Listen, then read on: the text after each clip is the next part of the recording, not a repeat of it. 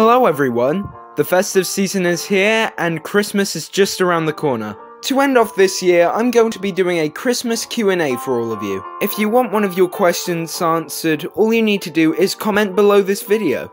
Your questions could be about upcoming cartoons or how I make them. This could range from storyboards to character designs. The last day to comment will be on Christmas Eve. Anyway, I'll see you all later.